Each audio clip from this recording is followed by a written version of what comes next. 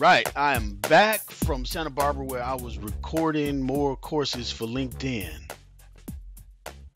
We got a dynamic arrays course coming very soon, y'all. All right, look for that.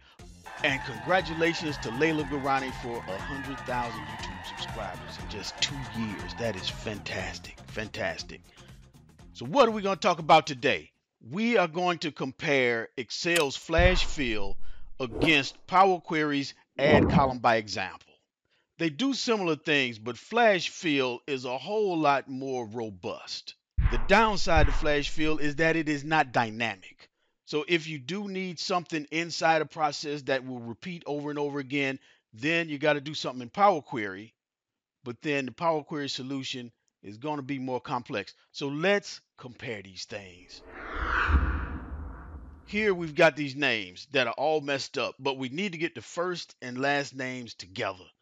We've got Dr. Marvin Sinclair. We just want Marvin Sinclair in one cell. Coral Ibanez is all caps. Reverend Elton Meyer, we just want Elton Meyer. So we've got problems. All right. Flash fill. Marvin Sinclair. Now I'm going to go down and do Coral Ibanez. Has flash fill been trained enough to give us a good result? Let's highlight this range. Go to data, flash fill. Oh, wow, look at that. Janetta Cullen, it got rid of the misses. Yes. Elton Meyer, no more Rev. Gene Antwell, we've got the capital A. Boom. Flash fill. Let's slide this out of the way. Now let's go to Power Query.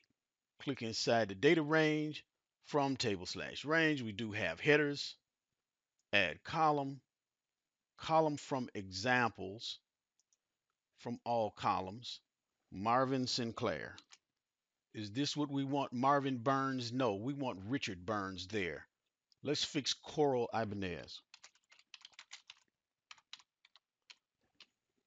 We do want Lloyd Sinclair, but we don't want a lowercase r Rita French. Let's fix Rita French.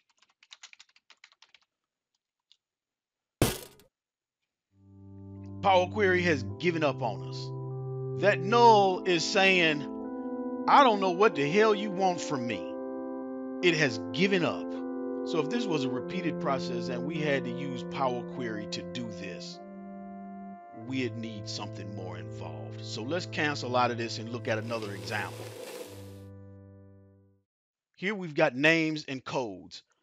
What I want to dig out is Iva Perry.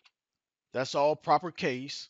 Like when we get down to Candy Garson, we got to fix that one. So, but we want HI. We don't want all of that. Let's go down to Candy Garson.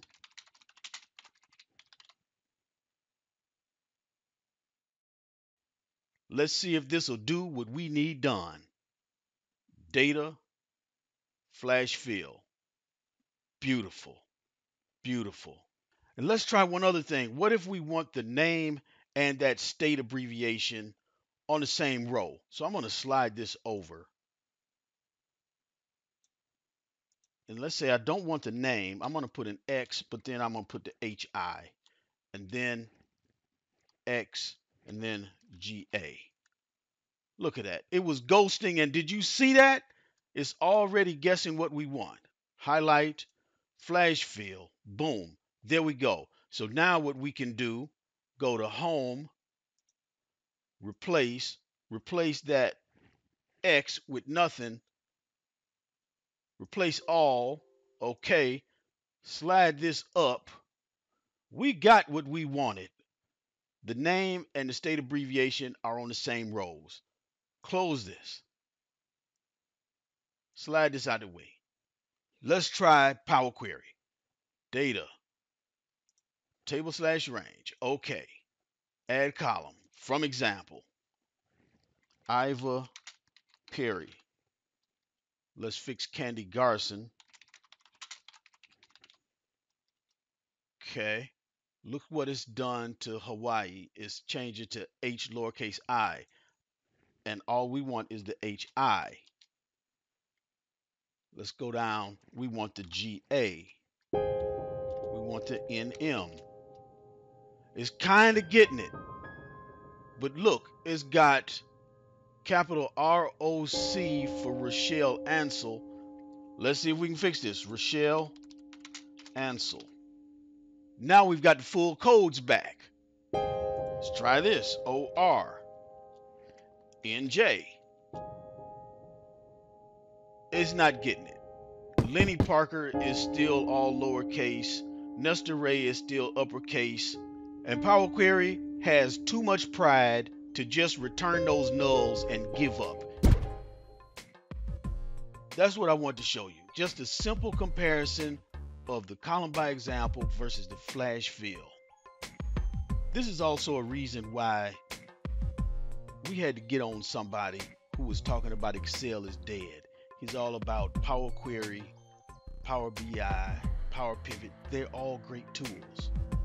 But I could see a solution that requires importing with Power Query, a lot of data cleansing in Power Query, take it into native Excel, do flash fill, take it back into Power Query. Strategy, strategy. That's what's important here, using the tools that are available to us. See you in the next video.